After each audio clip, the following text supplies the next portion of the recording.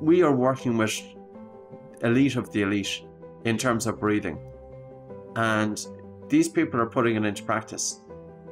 And if it's good enough for these people, it's good enough for us all.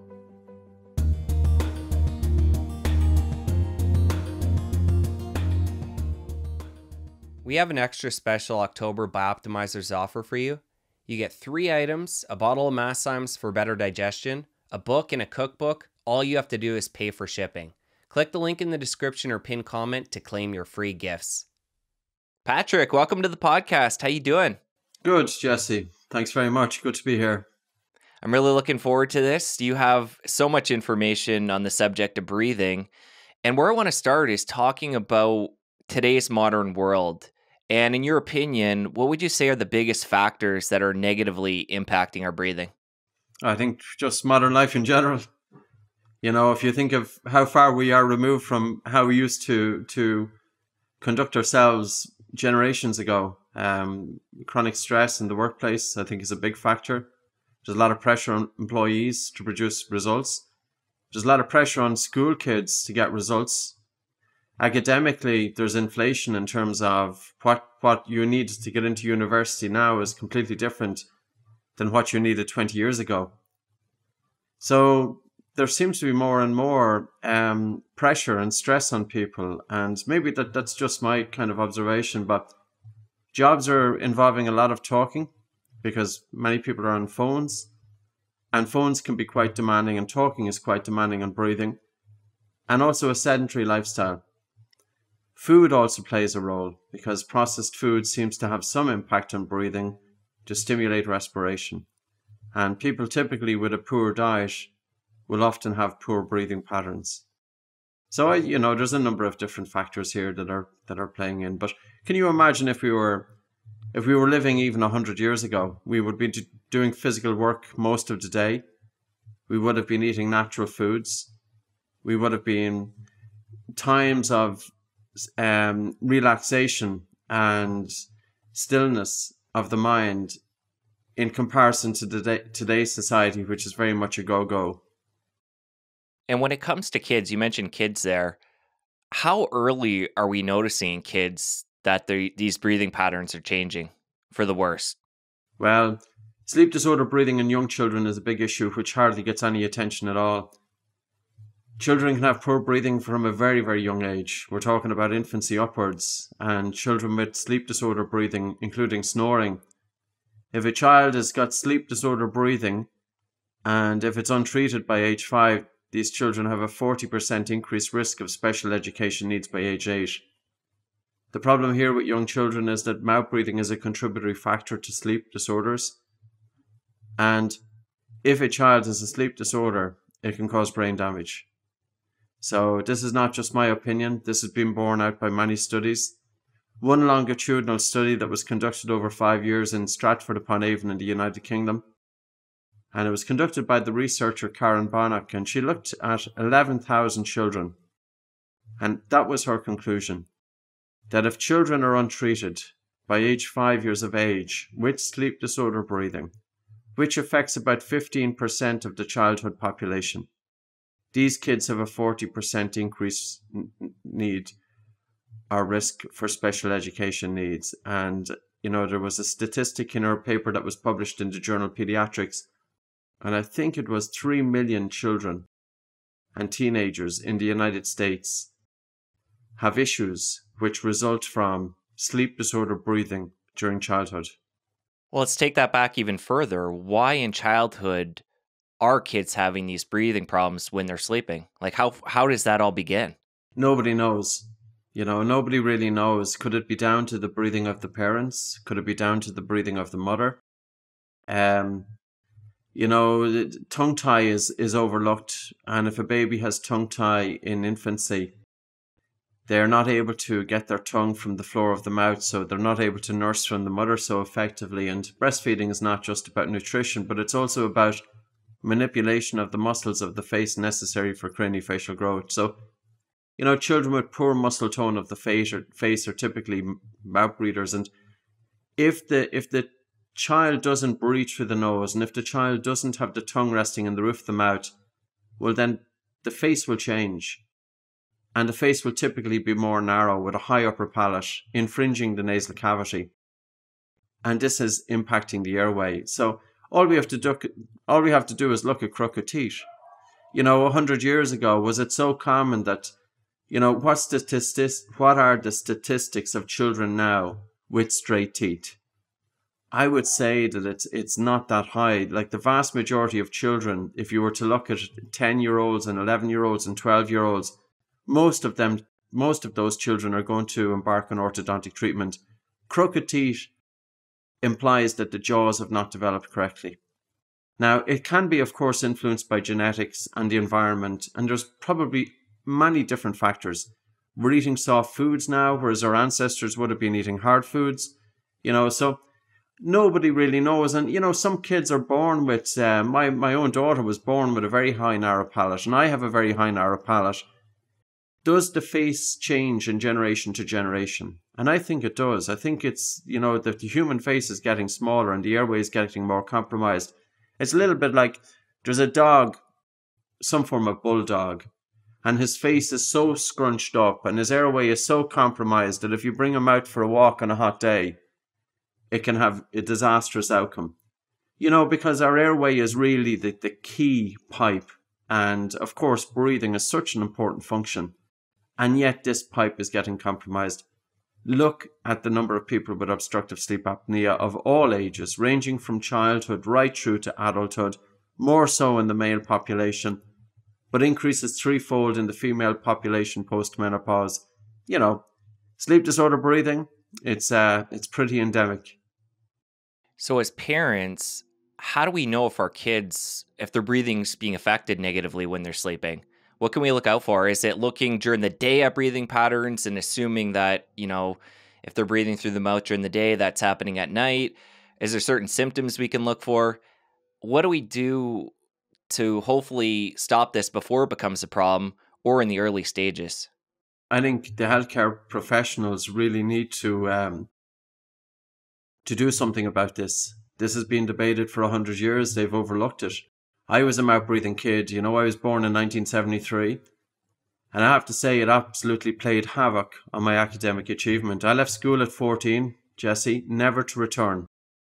And that was in 1988, 1989. And I was so frustrated with school because we are demanded to be able to concentrate and to focus and hold our attention. And I, as a mouth breathing kid during the day, nose was stuffed up, having asthma, mouth breathing and snoring during sleep. It wiped out my concentration. And these kids are being labelled as whether they are intelligent or not based on some exam. And nobody is questioning how are these kids breathing. It's a real, it's a joke. That's been honest with you. Now, any parent should look at if their child is mouth breathing during the day, it's a good place to start. And there are simple exercises which will generally help the child to free up their nose. If the child, after doing the exercises, is not breathing comfortably through the nose, well, then you may suspect that enlarged adenoids, which are lymphatic tissue at the back of the nose, is the issue. So, no child should snore and you should never really hear your child breathing during sleep. It's different. You know, an adult who is snoring, I'm not saying that it's it's it's okay, but I'm saying it's it's not as bad as if a child is snoring. Because the room for error with children during sleep is, is minimal. And we shouldn't even hear heavy breathing during sleep. So a child with sleep disorder breathing you know, they can be more likely to be twisting and turning during the night. They're waking up tired. It's very much linked with ADD and ADHD. You know, is it Ritalin that's the solution here, or is it simply investigating these kids' sleep? And also, I think the dental profession has such a place in this because a dentist is such uniquely positioned to be able to identify the risk factors with children. A high narrow palate, jaws that are set back, a compromised nasal airway. And it's even going deeper than this because there was a paper published in 2012 by Dr. Christian Guilleminault, who's considered one of the founding fathers of sleep medicine. He looked at seven young infants who died as a result of sudden infant death syndrome. All of these infants had a compromised airway, and this could have been detected early on. Now, I can only imagine as a parent that must be the most horrific life circumstance any parent goes through. But yet, this could be identified. And the problem is with this that, you know, very few of us has been have been talking about breathing in the main, and there are some brilliant doctors who are doing it, and there are some brilliant dentists and orthodontists who are pushing it out there, and there's some amazing people from the United States who are getting it out there. But the professions don't want to know about it. And I don't know what's the answer to that. And I have a feeling that the reason that the professions don't want to know about it is because there's not enough money to be made from it. And maybe I'm sinister by saying that, but you know, teaching a child how to breathe or teaching an adult how to breathe correctly, it's not scalable. You can't you can't make a massive product out of it. You can't you can't make millions and millions of dollars out of it. And I would hate to think that that's the reason that it's holding it back, but that's where I think after 20 years, because there was resistance to this from the outset. You know, when I was working with people with asthma coming in, many people with asthma, they don't just have asthma, but they are tired all the time. And I was always relating back to my own experience. And if you have asthma, you typically have a stuffy nose. And, you know, it's 10% of the population in the Western world. So you're talking about 8, 8 to 10% of the population, which is quite significant. Does it make sense for a person with asthma to be breathing through their mouth? Many of them do because of nasal congestion. And the mouth imparts no function whatsoever in terms of the breath. So even the simple advice of a child or adult going into a doctor's surgery and for the doctor to explain, I'll show you a breathing exercise to decongest your nose, continue breathing through your nose, and it will help your asthma. I'm not saying it's going to cure it. It can have a dramatic impact on your asthma, but it'll take the exercises do take a little bit of practice. But even just get the advice, breathing in and out through the nose, and also during sleep. You know, if we think of the solution for sleep apnea, a CPAP machine, 50% of people abandon it after about six weeks. So there is a large cohort of the population who are crying out for help. And uh, I wrote an article with two ear, nose, and throat doctors published about six months ago in the Journal Clinical, or sorry, it was published in the Journal of Clinical Medicine, looking at breathing re-education and the phenotypes of sleep apnea. There is a huge role here for breathing re-education in respiration, in sleep, in mental health. And if you were to add up the numbers of people who are filling those positions, it, it amounts to a large percentage of the population.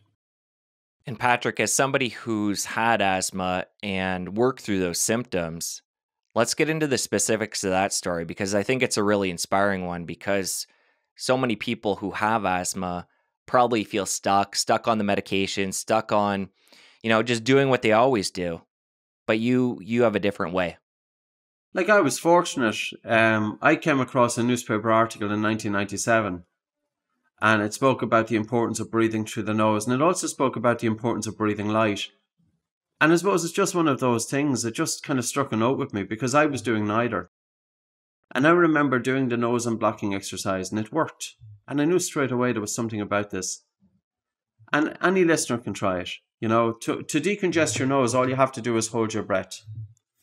You take a normal breath in through your nose, a normal breath out through your nose, and pinch your nose and hold your nose and just to walk around holding your breath. And continue walking, holding your breath until you feel, you know, a moderate to strong air hunger, and then let go and breathe in through your nose.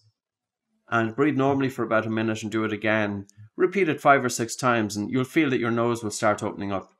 Now, that information is not new. That's been around for almost 100 years, since 1923, but yet it hasn't got into the public domain. So it's very common, as I said, people with asthma have nasal congestion. And I think people with asthma just don't realize how tired they can be. Because if you have a stuffy nose, you are two to three times more likely to have moderate to severe sleep disorder breathing. And as asthma severity increases, so does obstructive sleep apnea. Medication, of course, has a role. But let's, let's teach these people the basics. You know, Let's teach them the importance of breathing in and out through the nose, both during wakefulness, during rest, during physical exercise, during sleep. Let's teach them how to breathe functionally because asthma is one of those conditions that does change breathing patterns. And when our breathing pattern changes, it feeds into the asthma. So it's a vicious circle. And breathing, I think, Jesse, as well, you know, breathing has had a bad rap over the years and it hasn't been taught correctly. You know, too often we hear that take this full big breath and you hear everybody in the studio. All you have to do is go in on YouTube and look at how some of the breathing exercises are explained. That the harder you breathe, the more oxygen you bring into your body and the more carbon dioxide you get rid of. That's dreadful information because carbon dioxide is a catalyst for the release of oxygen from the red blood cells to the tissues and organs. We need carbon dioxide. We can't be getting rid of too much carbon dioxide from the blood through the lungs.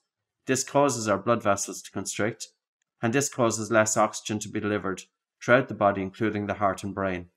So, people might have tried breathing exercises before. Um, I had up to 1997. Like, I'll give you an example. I was at a, when I went back to school, I was very driven and I really wanted to kind of do as, as best I could for myself. Ireland economically was a very poor place. We had, you know, a country which was in, you know, recession for decades. And I made it my goal to get into a university in Dublin called Trinity College. And I got there and I remember going in to do an exam back in probably 95, 96. It was one of my finals. I was a bit anxious going in, but I was typically a faster breather and an upper chest breather. And that's the way I breathed all the time. And if you breathe like that all the time, you're always teetering on the brink of symptoms. It doesn't take much to push you over the edge. Because if you're already in that sympathetic activation or fight or flight response, all it takes is the minor, the minor situations. Like I see it even with people around me, you know, you see situation presented and you'll see some one person and they're almost ready to explode with the minor issue because that person is in that sympathetic activation. And that's the way i was. Now i, I didn't never considered i had anxiety but i was a bit anxious going into this exam. And i took a walk for about two to three minutes to kind of clear my head before i went into the exam. And i took these full big breaths. I took the full big breaths that you typically hear you know people talking about. And I walked into the exam hall and I was totally spaced out, completely lightheaded. And I remember sitting down there and I could not think straight.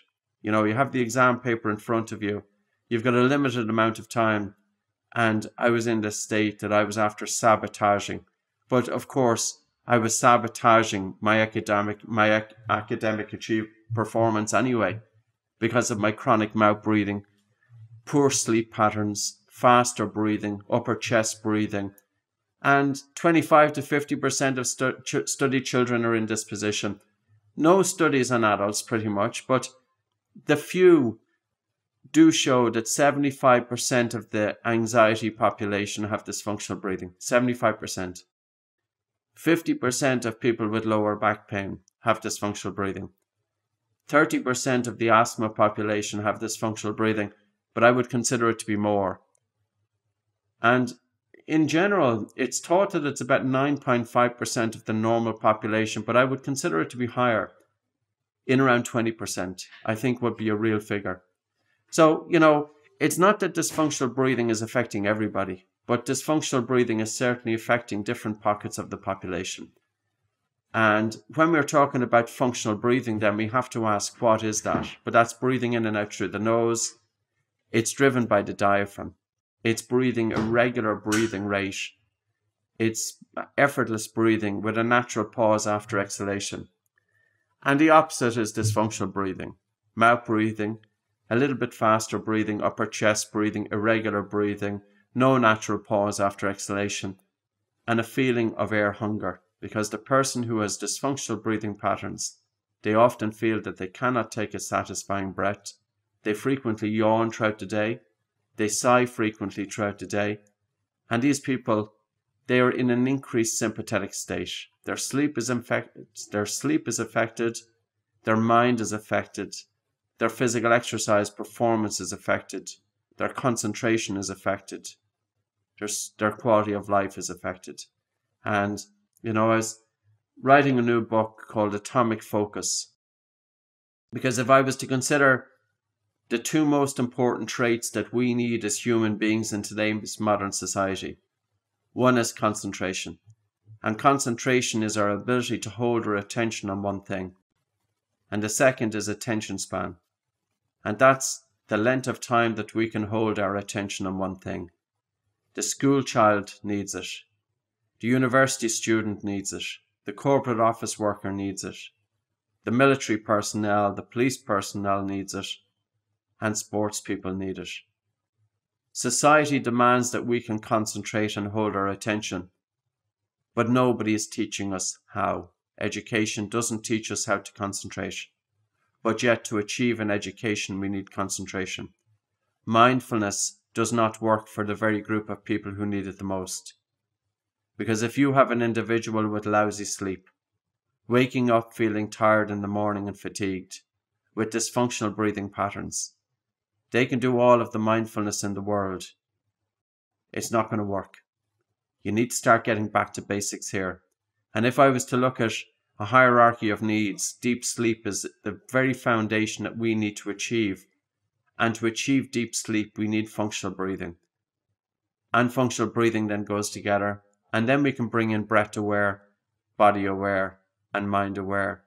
And then we can achieve flow states. So when we think of leaders and we hear of leaders talking about achieving flow state, this state where the mind is in a state of relaxation and alertness at the same time, that we're in a state of bliss, that we are intuitive, that we are creative, that hours fly by, that we're so immersed in what we are doing that we're not even conscious of it. How do you achieve flow states?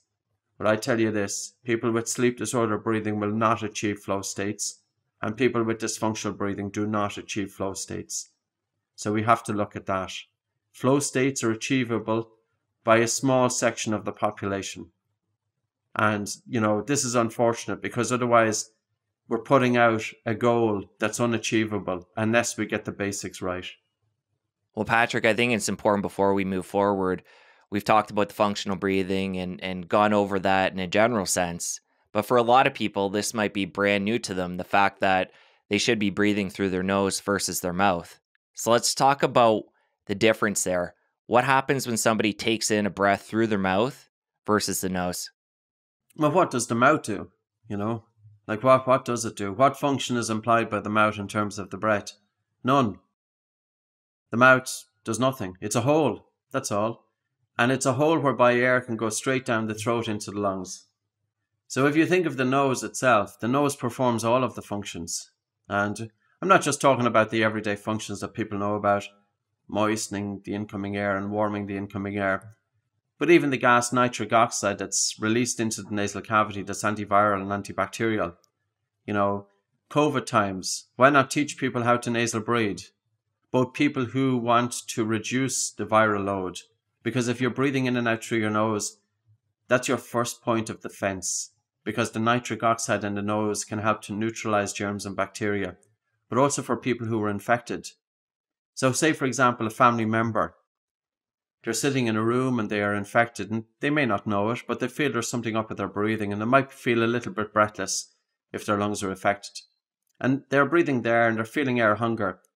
They will naturally revert to mouth breathing and they will be breathing faster through the mouth. And mouth breathing is emitting 42% greater moisture loss into the atmosphere. So other family members who are in that room are going to be more like likely to to um, inhale those you know water particles if if the virus is isn't is traveled by you know airborne particles, water particles. Um, the nose is also when you breathe through your nose, the nose is directly connected. The air that's taking into the nose is directly connected to the brain. So a recent studies show that visuospatial awareness improve when you breathe through your nose, but also your memory and attention improve when you breathe through your nose. So these have been recent studies that have been conducted in 2020.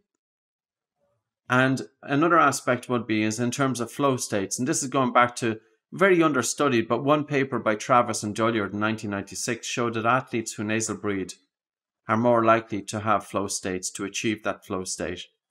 Your nose is also linked with the diaphragm breathing muscle. So when you breathe with your nose, you've got better biomechanics. You've got more optimal movement of the diaphragm. And the diaphragm breathing muscle is not just for respiration, but the diaphragm breathing muscle also plays a role in the emotions. It massages the internal organs. It helps to improve venous return to the heart. It also plays a very important role in terms of movement, because with correct and optimal movement of the diaphragm, it generates sufficient intra-abdominal pressure to provide stabilization for the spine. So, the diaphragm breathing muscle is a very important muscle, and mouth breathers typically won't engage the diaphragm as effectively as nasal breathers. And sleep apnea, for example, the diaphragm breathing muscle, which is located at the base of the ribs or separates the thorax from the abdomen, that's mechanically linked with the upper airway dilator muscles in the throat. So during wakefulness, we don't have to think of our airway staying open. The throat stays open. But during sleep, many people experience that their throat can collapse during sleep. And if they were breathing in and out through the nose with optimal movement of the diaphragm and breathing light and slow, their throat is stiffer and less likely to collapse. So the other aspect then in, in terms of heart rate variability and stimulating the vagus nerve, and I think it was back in 1913 that one researcher found that by stimulating the vagus nerve in a frog, it caused a slowing of the heart. Now we can tap into this, and it's all in the exhalation. So, for example, if we breathe in fast and if we breathe out fast, it's a stressor to the body and mind. But if we were to breathe in soft or normal breath in and a very relaxed and a slow, gentle exhalation, the relaxed and slow and gentle exhalation out through the nose stimulates the vagus nerve, which secretes the neurotransmitter acetylcholine, which causes a slowing of the heart. And when the heart rate slows down, the brain is interpreting that the body is in a safe environment. Any of us can tap into this there's always going to be situations throughout our day. And any time that you're feeling that stress is getting on top of you, take 90 seconds or a couple of minutes out. Close your mouth, breathe in and out through the nose. Take a soft breath in through your nose, a soft, silent breath in through your nose, and have a very relaxed and a slow and gentle exhalation. And then a very soft and silent breath coming into your nose, and a relaxed and a slow and gentle exhalation. And by doing that, you're telling the brain that the body is safe.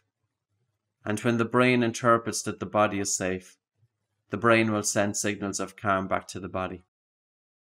So, you know, I remember I put the quotation in, into the, the recent book. It was from a brain surgeon. And he said the first thing I do is when, when he gets into a tricky situation is to prevent himself from hyperventilating.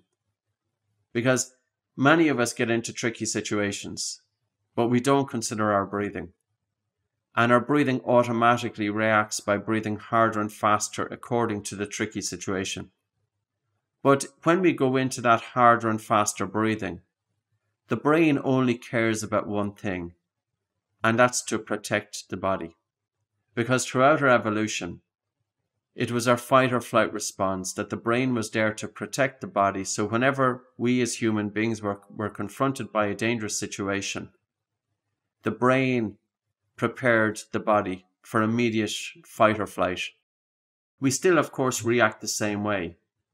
But if we are going into that fight or flight mode, we're not going to think straight. Because straight thinking and logical thinking and reasoning is not necessary when all you want to do is to get the hell out of there. And that's what happens. People are in the workplace. They get into a stressful situation. Their breathing gets faster and harder. Their brain is telling them to get the hell out of there. And they have to sit there and they have to think logically and to try and sort it out. No. Instead, tap into your breathing and slow down the exhalation. People won't even know that you were doing it. Bring your attention inwards, even if somebody is giving out to you. Don't surrender all of your attention to the person who's in the bad mood. Bring your attention inwards. Hold your attention on the breath and slow down your breathing. And you know, there's more to this, like Jesse. I was working a few weeks ago with snipers and they were elite police personnel. So these people are sent into very difficult situations and they spend an hour at a time behind the sight of a rifle. And you can imagine that there is no room for error here. This, this demands a trained brain. This demands a person to be able to hold attention for that one hour with no distraction with 100% of undivided attention on that task. And how do you train the brain? But you can train the brain by improving the physiology, not just enough to focus on the breathing, but improve the biochemistry, improve the biomechanics, and bring in resonance frequency breathing. But we went one step further because part of the, the assignment was how to breathe while pulling a trigger. So I was considering it and I reached out to some of our SWAT instructors, their special weapons and tactics personnel in the United States. And I reached out and I says, I said, what do you normally do? And they said, well, you can do it this way and this way and this way. And okay, there was a number of different variations. You could breathe in and hold your breath and pull the trigger, as some people do. You could breathe out and hold your breath and pull the trigger. You could pull the trigger as you're inhaling, or you could pull the trigger as you're exhaling. Now, I had never pulled the trigger of a gun, but a little bit I do know was about breathing. And I said, well, what's the best way here? And I just thought about it and I said, okay, during the inhalation, the inhalation is more driven sympathetically, so the vagus nerve is stepping back. And during the exhalation, it's primarily under the control of the body's relaxation response. So I said it's not in the inhalation. And as you inhale and you go into the exhalation, you pull the trigger just towards the bottom of the exhalation because that's when the vagus nerve is stimulating or secreting acetylcholine and you breathe into the shot. And that's what we did. And it worked. And I'm not saying that it's going to work for everybody, but I would say to people is it just gives you an example of what you can do with the breath that you can change your states. And many people here, you know, they were going they are going to be like me. They're going to have history of sleep disorder breathing, including sleep apnea. They're going to have a history of poor concentration and totally stuck in their heads all the time. And it's really important if you want to achieve your full potential and if you want to achieve a happiness and to be creative and to be intuitive and to be, you know, to really reach to the best of your ability. And I think as human beings, we need a purpose and we need to be able to contribute. You know, I think it's important. We can do that, but a great tool is optimal breathing. And again, it's not the nonsense that's normally being taught. And the reason I say that is because it has done a disservice to breathing. It has done a dreadful disservice. We have to get breathing out of the realm of left of field and tree huggers and open sandal brigade and we have to bring it to the everyday people because the everyday people need this. But with the reputation that breathing has had for decades, people are, you know, they're often put off by it. And that's why I always use the example that we are working with elite of the elite in terms of breathing. And these people are putting it into practice. And if it's good enough for these people, it's good enough for us all. So, say the everyday person right now is listening to this and say they've been unconscious of the way they're breathing for a number of years. We could use any example. In their 30s, in their 40s, they form these patterns of destructive breathing. What's the best way for them to start to breathe through their nose? Is being, you know, mindful of it enough? Like that can work in the moment, but then, you know, the kids crying in the other room and and you got to run and do this like how do we begin to form that into a habit that is that we don't have to think about and just apply it to our day to day? Well i suppose a habit comes just through practice you know if you practice something continuously if you're aware of it and you keep bringing your attention onto the breath ultimately it becomes part of you. You could measure your breath hold time your bolt score and that will give you some indicator of your functional breathing patterns. And to measure your Bolt score, you need a timer. Sit down for about five five minutes or so. Take a normal breath in through your nose and a normal breath out through your nose, and pinch your nose with your fingers. And you time it in seconds until you feel the first definite desire to breathe, or the first involuntary movement of your breathing muscles. And your breathing at the end should be fairly normal. If your Bolt score is greater than 25 seconds, there is an 89% chance that dysfunctional breathing is not present. But if you have a Bolt score of 10 seconds or 15 seconds, or 16 or 17 seconds, it's likely that dysfunctional breathing is present. Your breathing is a little bit faster and harder. You might feel that you're not getting enough air. You might feel disproportionately breathless.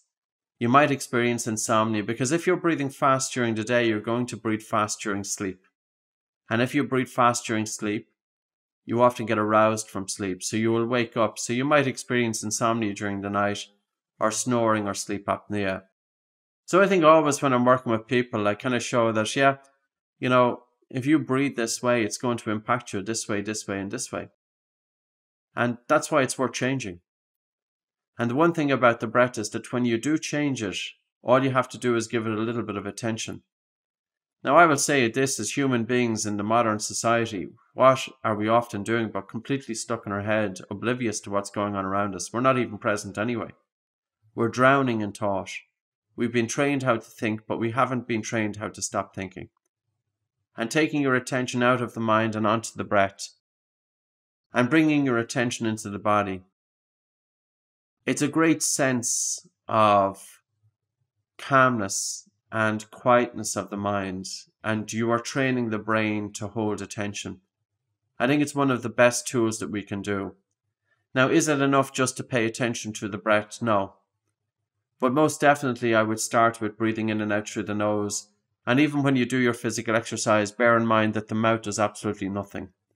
Your mouth is an emergency, um, you know, response. It's not. It's not for breathing. Do your physical exercise with the mouth closed, and if the air hunger is too much, just slow down a little bit, but maintain nose breathing. Now, I would practice this though.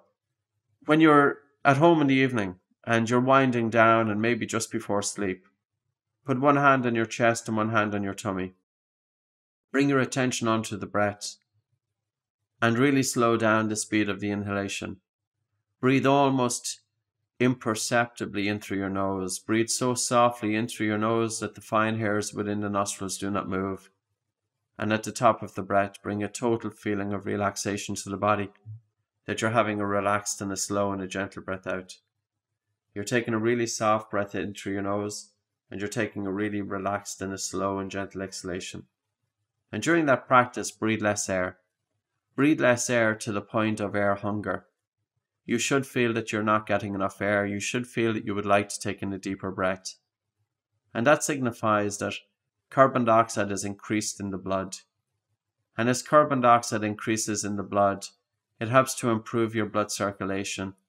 It helps to improve oxygen delivery throughout the body, but it also stimulates the vagus nerve. So for 10 or 15 minutes before sleep, really slow down your breathing to the point of under breathing breathe less air into your body and take about 30% less air into your body and feel the air hunger. You will feel drowsy. The increased watery saliva in the mouth is an indicator that you're going into rest and digest mode. There's increased watery saliva in the mouth because the body is preparing for food intake. Because when we get stressed, our mouth goes dry. Eating is the last thing that we need to do when we're stressed. So is a very good way to downregulate is to bring your attention onto the breath and breathe less air. And just check, does it improve your blood circulation? Do you notice that your hands are getting warmer? Because it's very common for people with poor breathing patterns to have cold hands and cold feet. Do you find that it's helping you to wind down? Are you feeling drowsy?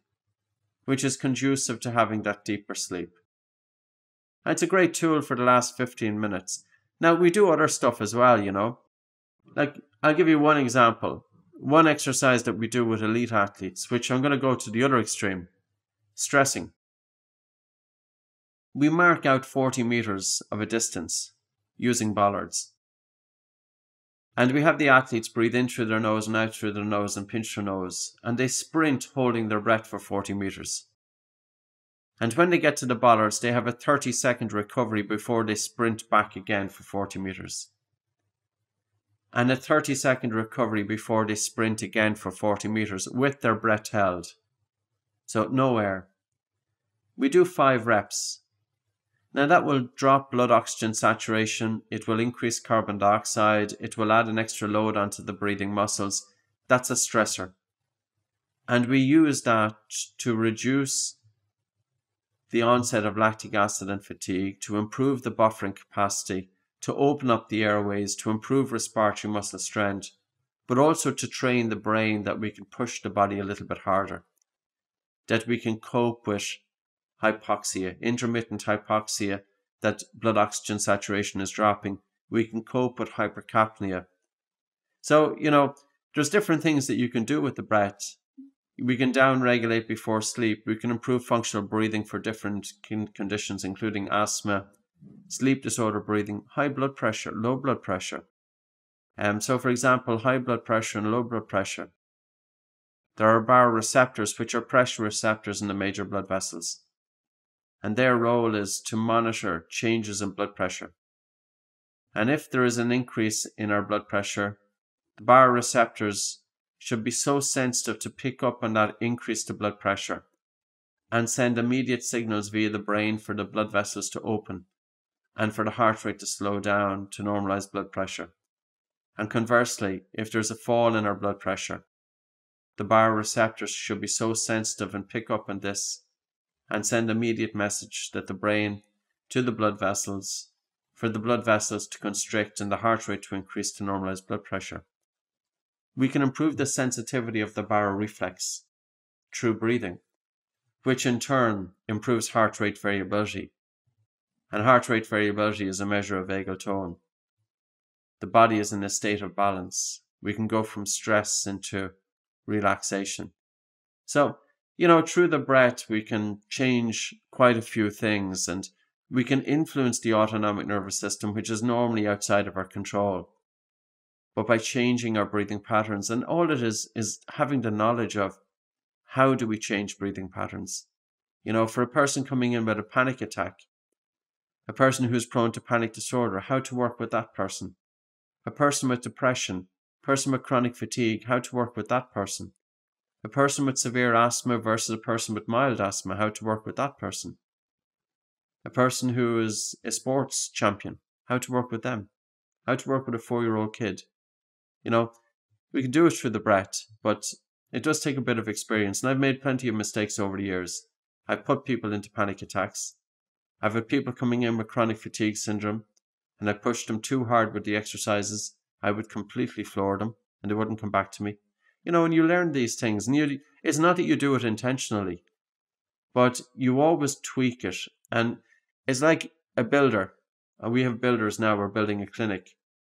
And I like to see a builder coming in that's about 40 or 50 years of age because he typically will know his stuff. And the builder who's coming in 20 years of age, they'll often they'll give me a price that's off the wall. And two, number two is they don't have the experience but the 50 year old typically does, especially if the 50 year old has been doing something for 30 years. And I'm not just saying, you know, I'm really talking about somebody who wants to keep adjusting, to keep improving, because ultimately that's what it's about. For the average healthy adult, you mentioned that exercise where they're going to be starving themselves of breath a little bit before bed, doing that for about 15 minutes. And then we talked about while somebody's exercising, say they're jogging or working out, they should be keeping their mouth closed, breathing through their nose, and also being mindful throughout the day, just as they're doing their day to day activities to breathe through their nose. Is that enough to, you know, maintain a healthy state when it comes to breathing, doing those three things? Yeah, it's a, it's a big factor. Um, now, if somebody comes in and they're pretty unwell, we would ask them to do about 40 to 60 minutes throughout the day. Like, you think of somebody maybe 20 years ago, 30 years ago, a gardener, and I often use this example. You can imagine a gardener who is doing a lot of manual work throughout the day. They're moving around, they're out in the fresh air, they're probably growing their own food, so they're going to be eating well. They're they're moving their muscles and in doing so, they're producing more carbon dioxide. All that person has to do is breathe in and out through their nose. Because as they move their muscles, they're increasing their metabolism, they're generating more carbon dioxide, and nasal breathing, because of the resistance it imposes to breathing during the day, will increase carbon dioxide in the blood, and by doing so will reduce the body's response or ventilatory response to carbon dioxide. So that person who's a gardener, if they just switched to nose breathing during all of their physical exercise, they would have to do nothing else. They wouldn't need any breathing practice. And that's the way we were doing it anyway, you know. But maybe a gardener today is out there now with his mouth open. So they're using a spade and the mouth is open and they're breathing in and out through the mouth and they're engaging the upper chest and breathing that bit faster. Well, that's not going to work. So, you know, anybody who's doing any decent amount of physical exercise, going for walks, going for jogs, doing whatever you're doing, maintain nasal breathing, and that's a great start. And then doing those those three different modifications and breathing through the nose, is that going to be enough? You mentioned the Bolt score earlier. If somebody is uh, a bit lower in that score and they want to bring it up, or even if they are at 25 or greater and they want to even bring it up to an exceptional level, is are those activities going to impact that? Well, it depends on how long they're doing it for. You know, are they doing a half an hour to an hour of physical exercise a day? That would do it if they changed their, their breathing during physical exercise. Do they have their mouth open though? During sleep. So none of us should wake up with a dry mouth in the morning. And if you wake up with a dry mouth in the morning, you're more likely to experience sleep disorder breathing, including snoring, insomnia, obstructive sleep apnea. So we use taping of the mouth, and I've been taping my own mouth since 1997 it's guaranteed a really good night's sleep. You know, it's tremendous. So I suppose it's looking at breathing 24 7. Now, sometimes, you know, if you're talking, you're going to take the odd breath through the mouth. And again, that I wouldn't find issue with. What I'd be looking at is looking at the bigger picture. Do you have your mouth closed during sleep? Do you have your mouth closed during the day? Are you able to cope with stressful situations? Now you've developed this resilience anyway, and you can build it up through your breath that you're not reacting to it. So you can cope much better with it. And I would also say that if you've got good sleep quality, you're going to cope better with it as well. But of course, it can be influenced genetically, but even aside from that, you can still train it. Because if a person is not able to cope well with stress, that can hold back their breathing. If a person is talking for six or seven or eight hours a day, that can hold back their breathing because talking is demanding to the breath. You know, people who are, if they're in sales all day or if they're teaching or working with clients all day, um, their breathing is going to be faster and harder, especially if they have to project their voice. And that is going to contribute to hyperventilation. And if you talk to people who are working in occupations that involve a lot of talking, ask them, how tired do they feel towards the end of the day? And they will tell you that they can be absolutely exhausted. And they may put it down to, you know, it's because they have to focus on what they're talking about. It's not. I don't have to think about what I'm going to say. You know, we don't have to prepare. If you're doing something for a few years, it comes second nature to you. But the issue is that you're talking and excessive talking is impacting your breathing. And that's what's causing your fatigue. You mentioned there that you've been taping your mouth when you sleep since 1997, so quite a long time. I also do this. I'm a big fan of it. Is this something for everybody, would you say? And if this is a totally new concept to people, because I'm sure there's a lot of people listening that haven't heard of this, that might seem pretty extreme. Let's talk about what that looks like. It's only for people who wake up with a dry mouth, you know. So if you wake up with a dry mouth in the morning, it's it's an indicator that you have your mouth open during sleep. And what, what's the option? One is to continue mouth breathing during sleep and experience possibly sleep issues, or the other is to breathe through your nose, wake up with a moist mouth in the morning, and it protects your dental health as well because mouth breathers are more prone to gum disease, dental cavity, bad breath. So I was wearing tape, 3M 1 inch micropore tape for many years, and but we always had an issue of how can we help to train children and teenagers. So a couple of years ago, I brought out a tape called MyoTape, and like I can show it to you if you like. Sure, yeah. It's a different concept because it's a tape that doesn't cover the lips, and you know we actually brought it out for children. We used to kids would come into the classes and the first thing that I do when the kids come into the class with their parents is I ask the parents, can the child wear a piece of tape across their lips? And we do all of the exercises with the child taped up. And the reason being is because I want to see can a child breathe functionally? Do they have the airway to be able to breathe through their nose during during the class?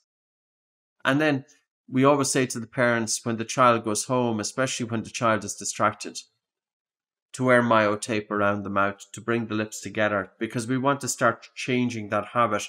And typically it takes about 60 to 70 days. And when a child or teenager then is able to breathe functionally through the nose during the day, then we ask the parents to consider it during sleep. Now the tape is a it's an elasticated cotton tape, and it's shaped and you see this is the orange one here. So the the color now has changed. So this is the older one. The color has changed to kind of a skin color because people didn't people didn't think it was so attractive with wearing orange tape surrounding the. So with this tape here, we stretch it. So I'm going to give it a fairly good. Now this is the adults version. Stretch. Okay. So the tape now is it's pulling in a bidirectional relationship. So it's pulling my my my lips together and I'm pouting. And I also spoke with physical therapists in terms of stimulating the orbicularis muscle, which is the muscle surrounding the mouth. And it helps to stimulate and activate that. And we have children wearing this while they're distracted. So if they're watching television, because a child will want to talk and if you're just to tape their lips and the child then, whenever they talk, they pull off the tape and you, it, it loses it. But with a tape like this, it allows the child to take a drink if they need to take a drink, talk if they need to talk. But every time that the child forgets about breathing through the nose, when they open their mouth, the tape automatically reminds them because they feel the tension. So they feel the tape pulling their lips together again to get them breathing through the nose. And it was a game changer for us because you know, for many years, I was focusing so much on getting the nose open and not enough on changing the behavior. And really, it is about changing the behavior. And I suppose it draws back to my own experience. Like the myotape we use for sleep as well for adults. Now it's cheap, Jesse. It's $25 for three months. So it's $7 a month. And that's including international postage. So, you know, I think it's worth it for a good night's sleep. But I had an operation on my nose in 1994 because of chronic nasal obstruction, years of having nasal obstruction, but nobody told me to breathe through it afterwards. And I just feel that it's something that has been overlooked as well by most ear, nose, and throat doctors. Now, some understand it and some get it. And I spoke to ear, nose, and throat doctors in 2019 at a European Congress and I had 150 ENTs in the room, and I said to some doctors, I said, There's no question that your surgery works. It works to open up the nose. But the real question here is if people have been mouth breathing for six months or more, they have developed a habit of mouth breathing. And even if they have a free nose, they may not use it because the mouth breathing habit continues. Now, this applies not just to adults, but also to children that children who undergo tonsillectomy and adenoidectomy, there is a 65% relapse within three years, unless nasal breathing is restored. And again, I suppose, you know, it's not enough to fix the nose, but we have to change the behavior. And that's with breathing. And the other thing, mm-hmm. the point that I like to make when it's in my head is that I want to focus on not just how is a person breathing inside the studio with me, but more importantly is how are they breathing outside of the studio? How are they breathing during sleep? How are they breathing when they go for a walk? And if I was to say one thing, the modality which has the biggest potential to change lives in terms of breathing is yoga. And all a yoga instructor has to do is understand breathing from a number of different dimensions when they are guiding their students through all of the different poses to bring in all of these breathing practices. Don't just focus on breathing big or breathing deep or breathing heavy. You know, bring in the biochemistry, bring in the biomechanics, bring in resonance frequency breathing. But also towards the end of the class, have the students bring functional breathing off the mat, bring it home with them. Because I can imagine if I was a youngster, a 16 or 17 year old going to sports and if the coach was there, and if the coach was equipped and telling me to breathe through my nose, it would have changed my life. Many people are going into yoga. Millions and millions of people are doing yoga. They're getting a lot of worth out of it. But it has the potential to transform lives in terms of the breath. An original yoga breathing was not about breathing hard. Original yoga breathing was about conservation of the breath. Conservation of the breath is when you feel air hunger. Air hunger is very much part of what we do. And there's something about this from a psychological point of view as well, because air hunger can be uncomfortable. So when I have somebody practice breathing less air and they're feeling that air hunger and they're feeling a little bit uncomfortable, I don't want to feel I don't want them to feel stressed. But if they're feeling uncomfortable, I'm asking them to relax and to surrender to the discomfort. Don't react to the feeling of discomfort. And this way, you are training the brain to be able to improve stress handling ability because we do come across uncomfortable situations throughout our life and we can use the breath to train the brain to better cope with that.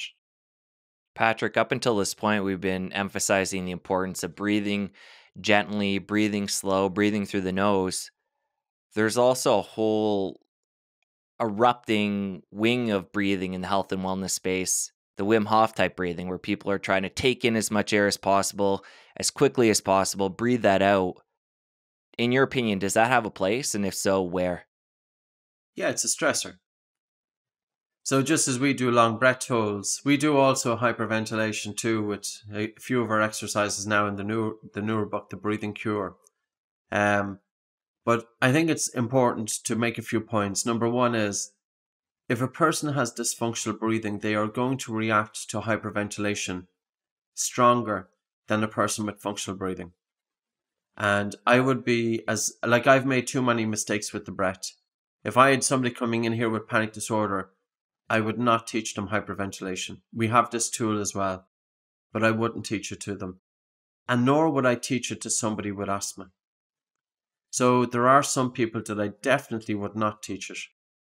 I think it's important to realize that with the breath, it can be very powerful and we can do harm if we just have it with one approach fits all. Now, the other thing is, is it good to stress the body and mind without bringing in recovery? Many people are hyperventilating for 30 breaths. They breathe out and hold, their blood oxygen saturation is dropping, maybe in the first cycle down into the 80s. They breathe in and hold their breath for 10 seconds. They hyperventilate then for 30 breaths and they do a second breath hold. Their blood oxygen saturation goes down into the 70s, severe hypoxia. Then they breathe in and hold for 10 seconds, hyperventilate again for 30 breaths, and do the third cycle of a breath hold. Their blood oxygen saturation drops down to maybe 50%, even 60, 60%, maybe 50%. That's a pretty big stress you know, to lower your blood oxygen saturation to 50 or 60%. Have we ever do, done that throughout our evolution? Has there been a time that we as human beings have pushed ourselves to that extreme? If I asked, you know, somebody, an elite athlete, to hold their breath without hyperventilation, they wouldn't drop their blood oxygen saturation down into the 50s. This is something that you achieve if you're at the top of Mount Everest.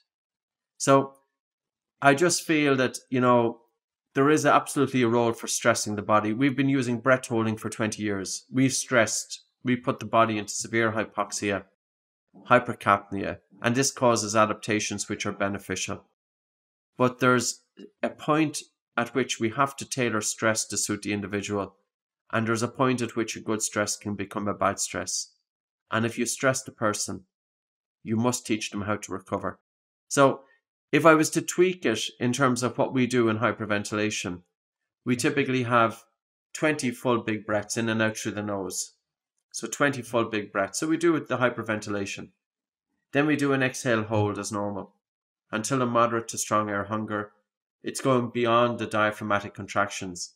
But then we do breathe like for three minutes.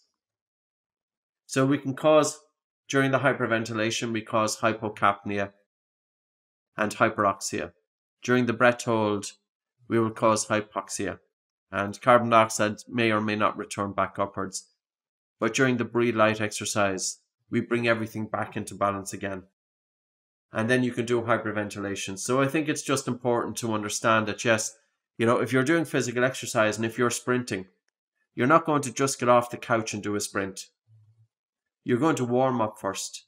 So we do breathing exercises to warm up.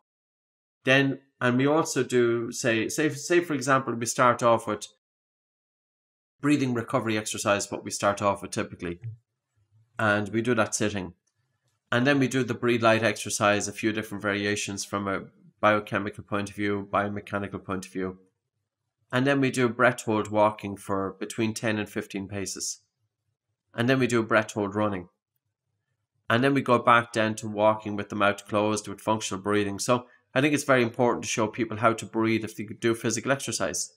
You know, it's okay teaching somebody how to breathe while they're sitting down, but how should you breathe optimally to improve oxygen uptake when you go for a jog? Is there a way to improve the gas exchange? And what would you expect when you start doing your physical exercise with the mouth closed? And if you have narrow nostrils versus large nostrils, or, you know, different things to take into consideration.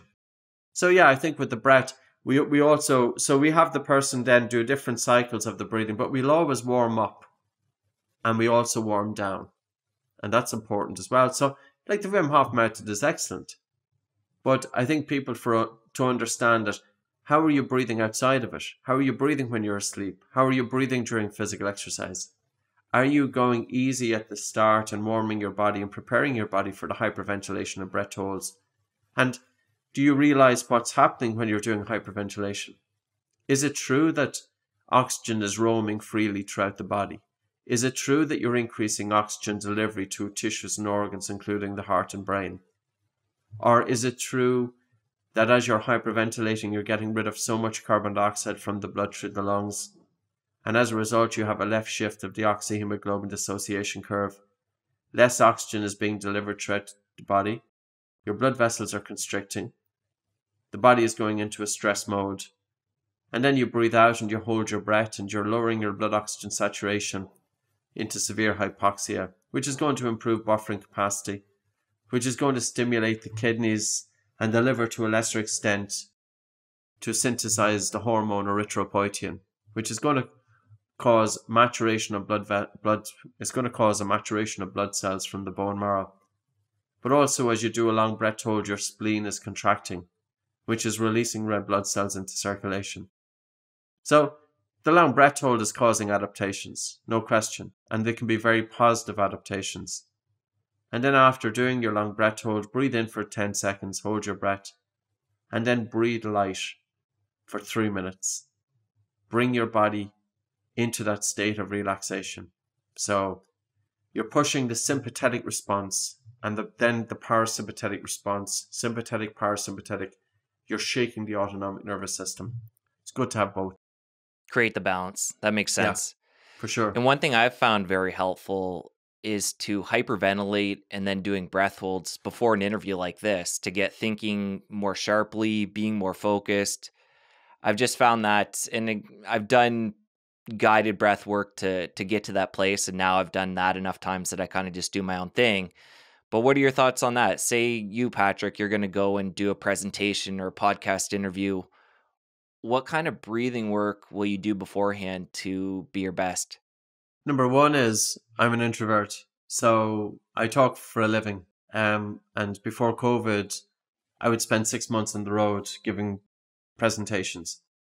Um, I never turn up in an event until the last moment, or at least maybe half an hour, an hour at the very, you know, furthest away from it. So, say if, if an event is on at two o'clock, I'll turn up to the hotel room, the conference room at one o'clock that day and I won't talk to anybody.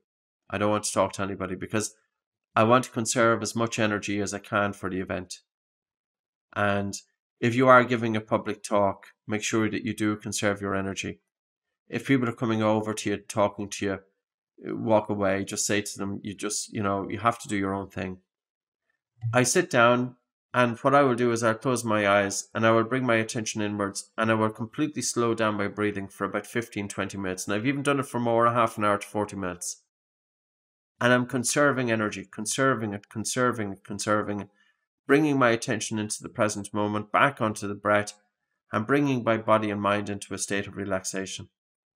Now, after that, I'll do three easy, two or three easy breath holds because I don't want to go out too relaxed. And then I will do five strong breath holds. And then just before I go out on stage, I literally flood my body with a feeling of energy. And it's not, I hope I'm not talking, sounding too new agey, but literally I just get a sense of energy throughout the body. And I'll walk out on stage with every cell in my body.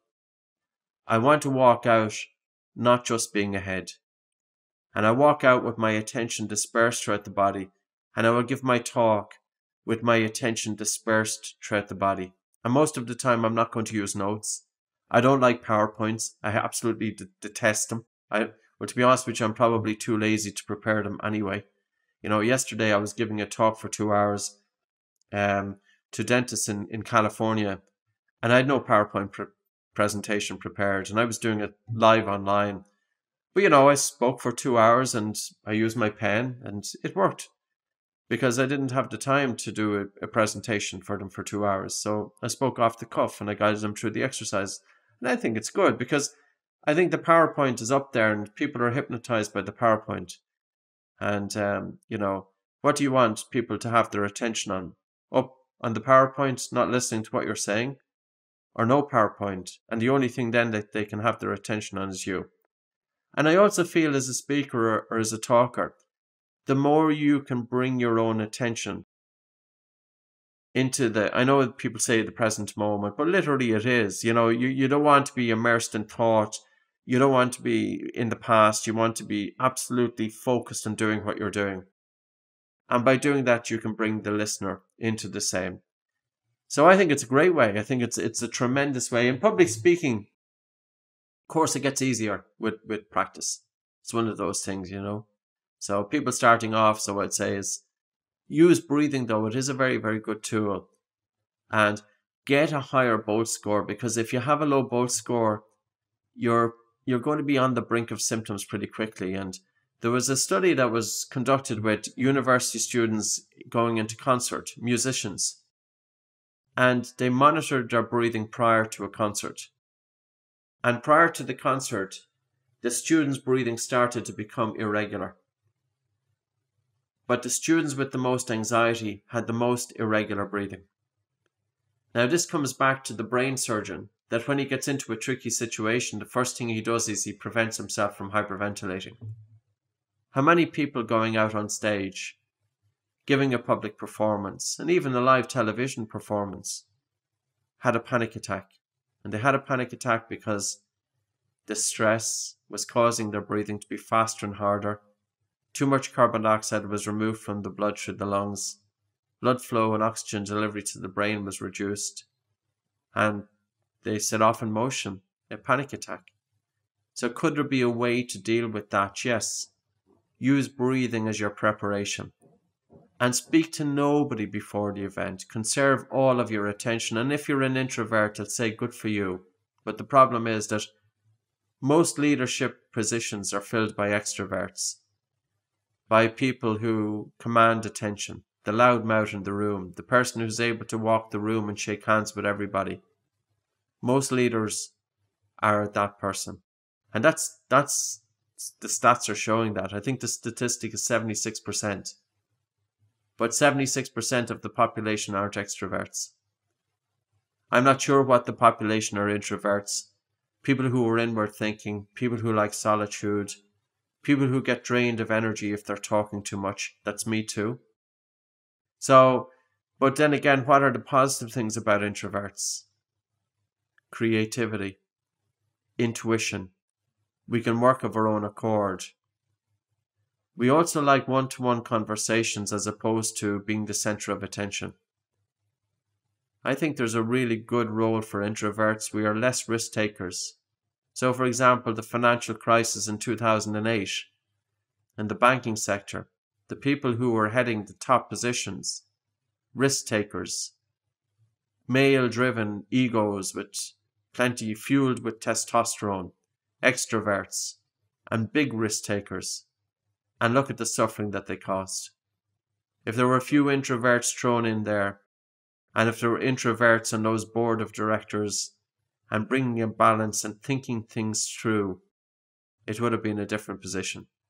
So it's time that society starts recognizing the role of introverts as well, that introverts can have something very positive. And I remember as a kid growing up, I would often feel that, you know, you would you would feel that you're not quite as confident or you're not as capable as the extrovert because the extrovert had the full confidence going in. But all I say is life is a long journey. And uh, if you're an introvert, you'll be pretty glad that you are. Just give it some time. I want to talk more about exercise and breathing. I've been a runner for a number of years, and to be honest, I've never really concerned myself with how the air was getting in. I've probably been doing a combo of nose breathing and mouth breathing. But after reading your book, chatting with you today, I'm excited to get back out there and, and focus on breathing through the nose. What would you recommend for somebody like me who's a recreational athlete? Say it's, you know, biking, running, I guess swimming's a bit different because you have the water there and you're it's going to change the way you go about breathing. But what would be the best way to start incorporating this and what kind of changes should I expect to notice at least in the beginning? It depends on a couple of things. One is it depends on your nostril size. If you have a nostril nose like mine that's completely messed up and screwed up, you're going to be compromised. So use a nasal dilator. That will allow you to breathe more comfortably through the nose. A nasal dilator is based on the Cottle maneuver. If you just put one finger either side of your nose and just gently prise your nostrils, does it feel easier to breathe? And if it feels easier to breathe, then it can be useful getting that device. From here, you don't seem as compromised as I am, Jesse, so it's quite, you know, likely that you're able to sustain nasal breathing easy during physical exercise. The second thing is Bolt score. The higher the Bolt score, the less breathlessness during physical exercise. So the higher the Bolt score, the easier it is to sustain nasal breathing. Another aspect is that when you first switch from mouth to nose breathing, only go at a pace that you can sustain nose breathing. Think of what the nose is doing during that time. The nose is protecting the airways. The nose is increasing oxygen uptake in the blood. The nose is increasing carbon dioxide to allow more oxygen to be delivered to the working muscles. The nose is targeting a greater amplitude of the diaphragm for more functional movement and less risk of injury. So, breathing through the nose is imparting so many benefits. It just doesn't make sense to breathe through the mouth. Mouth breathing is fast and shallow breathing. It's it's reducing oxygen uptake. The fraction of the fraction of expired oxygen is less with nasal breathing recovery is much better with nose breathing post physical exercise. Now, of course, initially when you switch from mouth to nose breathing, the air hunger that you experience is stronger. And the air hunger is stronger because of the increased carbon dioxide in the blood, because the nose is, it imposes a resistance to breathing that's more than that of the mouth. And by doing this, sorry, there are some interruptions now, but by doing this, um, I've got three dogs, and of course, they're all after coming in together. So, as it happens. But when you switch from mouth to nose breathing and you're feeling that air hunger, bear in mind that the air hunger is telling you that carbon dioxide is increased in the blood. But what is the increased carbon dioxide doing as it's in the blood? It's improving your blood circulation and it's increasing oxygen delivery to the working muscles. So even though you feel air hunger during physical exercise, the oxygen delivery is better. So now the other thing is that the more you do your physical exercise with the mouth closed, your body adapts to the higher carbon dioxide in the blood. So earlier on, when you asked the question, you know, if you were doing your physical exercise with the mouth closed, would you need to do anything else? Probably not. Because if you were doing physical exercise with your mouth closed and having your mouth closed for the rest of the day, your physical exercise with the mouth closed is a great way to reduce the response of the body to the buildup of carbon dioxide. Now, the only thing I would say is that if people have a Bolt score of less than, say, 20 seconds, be very careful when you do physical exercise. don't have your mouth open because your risk is of hyperventilation. So do your physical exercise with the mouth closed, but allow your nose to determine the intensity of your physical exercise. And don't push it to the extreme that you have to be forcing the air in and out of the nose. Because if you're forcing the air in and out of the nose, you could hurt the inside of the nose. And in any event, if you just sustain nasal breathing in and out through the nose, within five to six weeks, the air hunger will diminish and your fitness levels will improve. And the other aspect of this is that when you do it, your nose is more likely to become runny at the start, so bring a tissue with you. But the nose does dry up because it becomes more comfortable or more conditioned, you know, to be able to cope with that greater volume of air. Now, if you have any sports medicine scientists, I would really, I would say that this is crying out for attention. And I can't understand how. Can you imagine all of the universities who are teaching sports medicine? There are very few studies on nasal breathing during physical exercise. How did they miss that one? But one, there is one in the States um, called George Dallam. And I think he's in Colorado State University, D A L L A M. Now, he works with pretty high level triathletes and he was a triathlete himself. He switched to nasal breathing about six years ago, and he's been interested in studying it on a number of papers. So you'll find one recent, well, it's 2018. He looked at 10 recreational athletes. Now, I think he spent two years trying to recruit athletes to do this study. Two years. And such was the belief in nasal breathing that, that after two years of recruiting, he managed to get 10 recreational athletes. He asked them, to do all of their physical exercise by breathing in and out through the nose for a period of six months. And at the end of six months, he wanted to test them because there's no point in grabbing a bunch of athletes and saying, All right, lads, I want you now to breathe through your nose and I'm going to test you. They're going to fail terribly because you're adding an extra load onto them and they're feeling an intense air hunger. And, you know, of course they're going to be held back. But he said, train with your mouth closed for six months and then we will test you. You don't need to train for six months. Even if you train for six weeks, you're going to get improvements. But the improvements were as follows. With nose breathing, in comparison with mouth breathing, the individuals were able to achieve 100% of their work rate intensity. Number two, they had 22% less ventilation with nasal breathing as with mouth breathing, 22% less ventilation there's an economical saving there which must have implications with endurance athletes because there's a, an energy cost associated with breathing. Like your muscles consume quite a, an, an amount of oxygen. Um, normally, during as we sit here, it's probably about two to three percent. If you do moderate exercise, it's about six percent. If you do pretty strenuous exercise, it's about ten percent. And if you do maximum physical exercise, it could be about thirteen percent or so. So there is an economical cost associated with breathing less. Now, the fraction of expired oxygen was less with nasal breathing versus mouth breathing. And also, carbon dioxide in the blood was 44 millimeters of mercury with nasal breathing and 40 with mouth breathing. So the body was able to cope with higher CO2 in the blood. So I think, you know, there's a number of tangible benefits there. And yeah, we would love to see sports medicine start pulling it apart, you know, investigate it and uh, just see and ask the question does it make logical sense that people should be do- using their nose for physical exercise? What does the nose do in comparison to the mouth? The mouth does zero. And when you're watching elite athletes, say you're watching the Olympics or watching a marathon on TV, and you're watching the way that these men and women are breathing, do you typically see them breathing through their nose? Like when they get to that level, have they figured that out or have their coaches taught them? Or is there still room for improvement among the elite because most of them don't even know this? Yeah, of course. Like I'm not saying that an elite athlete, if I'm working with an elite athlete, I'm not going to, I'm not going to demand that they nasal breathe during competition.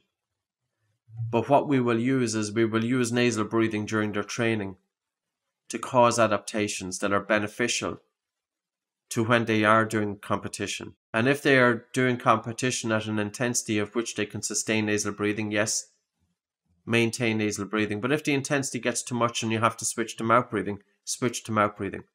But have a decent Bolt score because then your breathing is more efficient and economical and you'll have a greater reserve because you're not likely to be expending energy unnecessarily.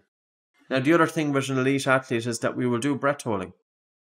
Like, you know, people do, for example, I'll give you an example. The, the exercise that I spoke about earlier, repeated sprints, 40 meter sprints on the exhalation with a, with a departure or a 30 second recovery between each. This was tested by Woorons with 21 highly trained rugby union players in Australia. These are professional rugby union players. Normally, at this level, if you get a fraction of a percent of an improvement, it's a good gain. These guys, he divided them up into two groups. 10 or 11 of them did 40 meter sprint with normal breathing, as they normally do to stimulate anaerobic glycolysis. And the other group did it with breath holding. Over a four week period, the group who did the breath holding improved their repeated sprint ability from 9 reps to 14.8 before exhaustion within 4 weeks. From 9 reps. Now you think of repeated sprint ability. That's an athlete's ability to do all out effort followed by a very brief recovery before all out effort followed by a very brief recovery. And it is tested in team sports. It has applications for you think of American football, hockey, basketball, MMA, boxing, sprinting. So there's many different sports that can benefit from improving repeated sprint ability. But to get that gain, 9 reps to 14.8 within 4 weeks in highly trained rugby union, the, the control group who were doing their sprinting with normal breathing, they increased from 9 to 10. So it was marginal. They had some gain, but it was marginal in comparison to the breath hold group. So, you know, I think breathing has been untouched in the athletic world, with the exception of there are some athletes that are practicing it now. And I want to look at an athlete's breathing from many different perspectives, not just in terms of their physical performance, but also teaching them how to alter states. How does an athlete warm up? How do you prepare an athlete for getting into the zone? How does an athlete alter their states if, for example, it's in a football match and they have to take a penalty shoot? How can they down regulate just as the sniper is pulling the trigger of a gun? How do you recover post physical exercise? How do you improve your sleep? How do you strengthen your breathing muscles so that the diaphragm is less likely to fatigue? How do you improve your tolerance to the gas carbon dioxide and reduce your breathlessness? There's a lot to it. You know, the breath is, it's much more than that common instruction that was put out there take a deep breath and you'll be fine. You can really delve into this. And I have to say, I'm 20 years, 20 years into this. And the longer I'm in it, the more that I just realize that I know hardly anything because it is vast and that makes it exciting. I can see why, yes. When we take a specific example though of a athletic event, we'll use the marathon where they're they're not near their maximal effort when they're running that race. And we're looking at the elites. Would you say the people who are winning those races, like we know within the last number of years, we've had somebody go below the two hour mark in the marathon. Would you say the elites are breathing through their nose like when you're watching that and and or looking at highlights do you do you notice that these people have picked up on this? Or or is it still like some athletes have. Yeah. And we do see it we do it's more it's um the minority of athletes who have adapted to nasal breathing.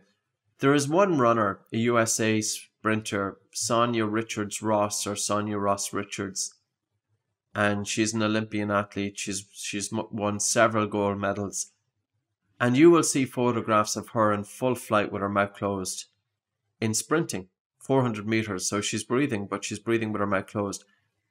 But if you look at her jaw structure, and if you look at the size of her nostrils, and she's going to have super and absolutely superb breathing efficiency and, econo- and economics.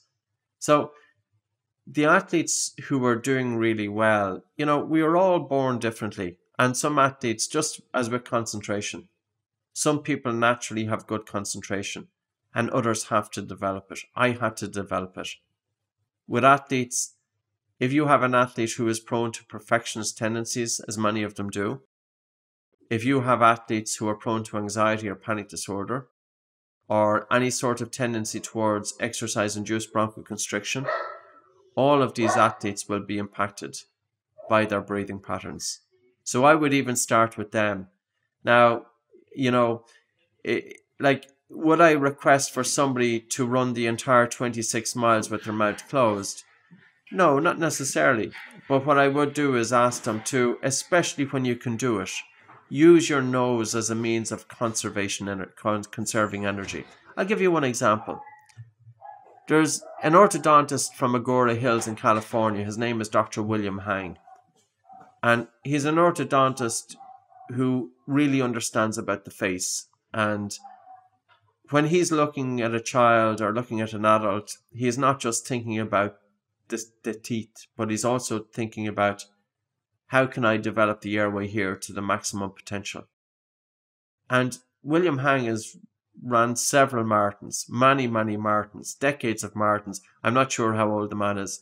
He has to be in his mid 60s and he runs all of his marathons with the mouth closed. And the most recent Boston Marathon, I'm not sure if it's if it has it taken place or is it it's coming up soon in the next month or two. Um, but he will run that with the mouth closed, and that's the way he does it. And you know we've we've many many instances of people who are ultra ultra distance runners and marathon runners adapting to nasal breathing and being able to do it for the 26 miles. And it just makes sense. You know, it is a bit tougher at the start, but if you keep on doing your physical exercise, and if you have to get a nasal dilator, you know, we use a little plastic device, as I said, just to open up the airway. And that can make the big difference because you're still harnessing the benefits of nasal breathing, but allowing better airflow as well.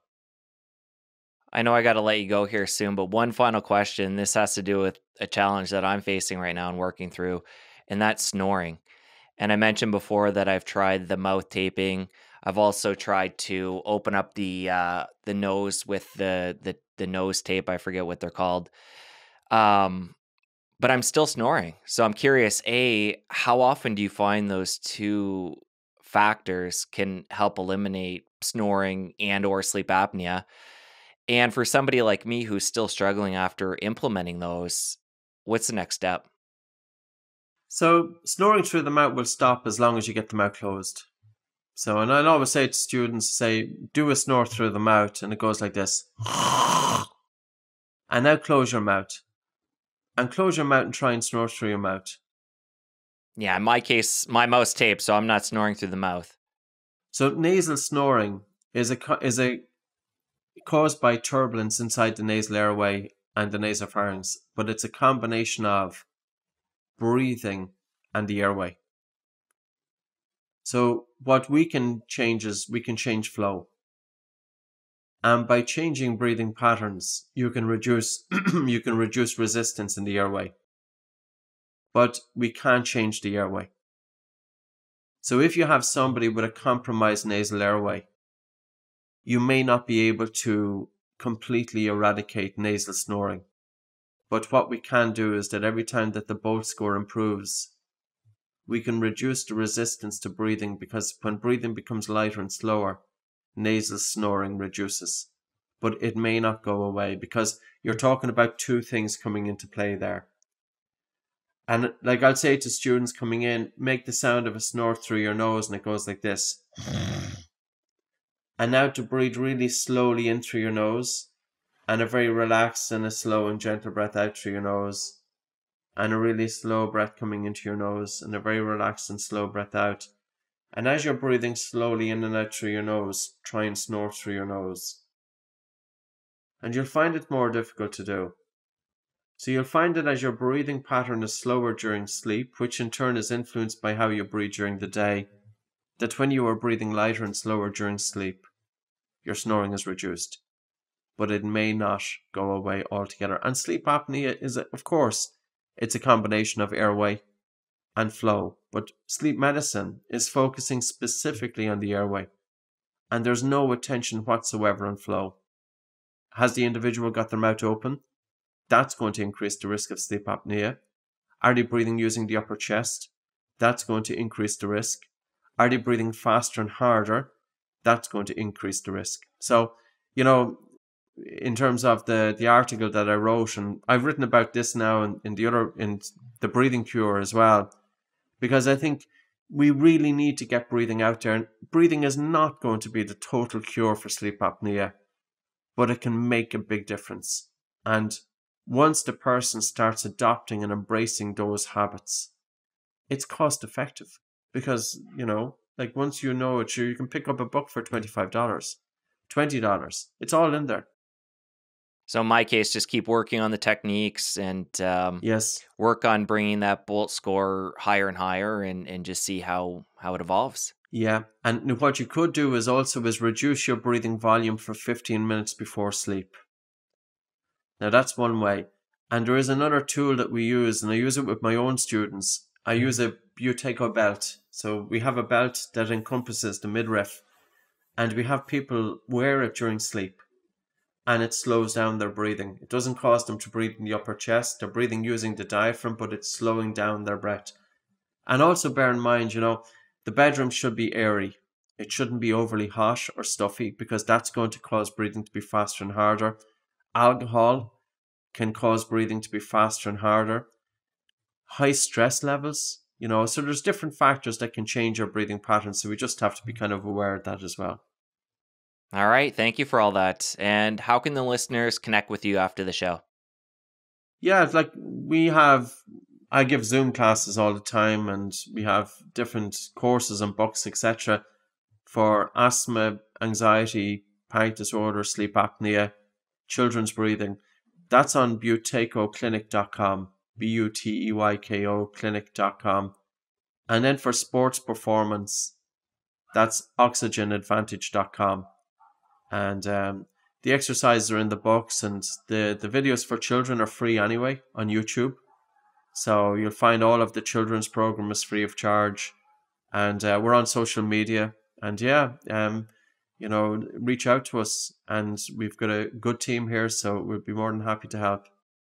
All right, Patrick, really enjoyed this. We covered a lot, and I'm sure it's going to help a lot of people. The work you're doing is just so important. So keep uh, doing what you're doing, and thank you. Great stuff. Thanks very much, Jesse. Take care.